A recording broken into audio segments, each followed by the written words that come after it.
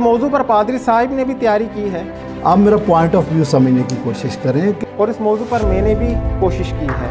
कि जो यसु मसीह की मौत थी ये कोई बड़ी आइडियल मौत नहीं थी। लेकिन मैंने इसलिए तैयारी की है कि यसुल मसीह को सर का ताज साबित कर। इनको दुनिया व आखिरत में इज़्ज़त वाला साबित कर। इनको हसीन कह सकें। और पादरी साहब ने भी तैयारी की ताकि यसुल मसीह को बदसूरत हकीर ये वो उसको आप समझें कि उसकी हकारत ही कर रहे थे, ये मेरा मकसद था। दलील और खुदा का मारा हुआ साबित कर